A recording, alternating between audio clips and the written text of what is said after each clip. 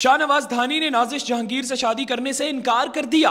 नाजरीन, वही नाजिश जहांगीर जो कहती हैं कि अगर बाबर आज़म मुझे रिश्ता भेजेंगे तो मैं माजरत कर लूँगी मतलब बाबर आज़म का रिश्ता एक्सेप्ट नहीं करूँगी। उन्हीं नाजिश जहांगीर से शादी करने से इनकार कर दिया शाह नवाज़ धानी ने। नाजरीन, नाजिश जहांगीर, जो कि पिछले दो तीन दिन से पाकिस्तान में सोशल मीडिया की जीनत बनी हुई है, इस वजह से कि उन्होंने बाबर आज़म का रिश्ता ठुकरा दिया था। बाबर आज़म ने खुद उन्हें रिश्ता नहीं भेजा था, बल्कि वो अपने इंस्टाग्राम पर क्वेश्चन आंसर्स का सेशन कर रही थी। तभी उनके एक मदाह ने उनसे एक सवाल किया कि अगर बाबर आज़म आपके घर रिश्ता भेजते हैं शादी करने के लिए तो आप क्या करेंगी? तो उन्होंने जवाब दिया कि मैं माजरत कर लूँगी मतलब मैं बाबर आज़म के साथ शादी नहीं करूँगी। नाजरीन, किसी ने उसका स्क्रीन लिया, खबरों में आ गया और वायरल हो गया। उसके बाद जो बाबर आज़म के फैंस हैं, जो बाबर आज़म की आर्मी है, वो सारी नाजिश जहांगीर के इंस्टाग्राम अकाउंट पर पहुँच गई। उन्होंने नाजिश जहांगीर की पिक्चर्स पर बहुत कमेंट किए। नाजिश जहांगीर को बहुत से मैसेज किए कि नाजिश जहांगीर ने थोड़ी देर के लिए अपना अकाउंट प्राइवेट भी कर दिया। लेकिन फिर उन्होंने अपना अकाउंट पब्लिक कर दिया।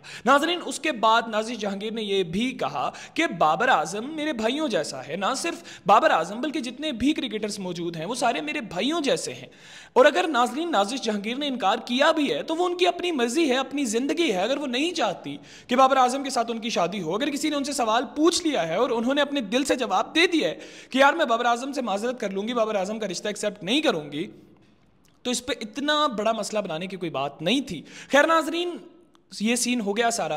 फिर कल शाह नवाज़ धानी, जो कि पाकिस्तान क्रिकेट टीम के फास्ट बॉलर हैं, आजकल टीम में नज़र नहीं आते, उनकी जानब से एक ट्वीट किया गया। शाह नवाज़ धानी मीडिया की जीनत बन गए, ये बोलकर कि अगर नाजिश जहांगीर मुझे रिश्ता भेजेंगी और वो बोलेंगी कि आप मुझसे शादी कर लो तो मैं कभी भी नाजिश जहांगीर के साथ शादी नहीं करूँगा। शाह नवाज़ धानी बाबर आज़म को डिफेंड करने के लिए सामने आ गए। खैर नाजरीन, मेरी बाबर आज़म के फैंस से गुजारिश है कि देखिए यार उसने बाबर आज़म का रिश्ता नहीं ठुकराया। अगर बाबर आज़म उसके घर रिश्ता भेजता वो ठुकराती तो चले, वो भी उसकी अपनी ज़िंदगी है, उस पर फिर भी आप कुछ बोलते तो समझ आती।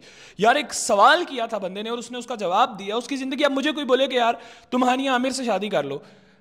तो मैं नहीं करूँगा हानिया आमिर से शादी, में बोल दूँगा, नहीं यार, माजरत। तो इसमें अब इसका मतलब ये तो नहीं है कि हानिया आमिर वाले सारे फैंस आगे मेरे पीछे पड़ जाए। खैर नाजरीन, आप लोग इसके ऊपर क्या रखते हैं? ज़रूर कमेंट सेक्शन में बताइएगा, इसके साथ ही मुझे दीजिए इजाज़त। अल्लाह हाफ़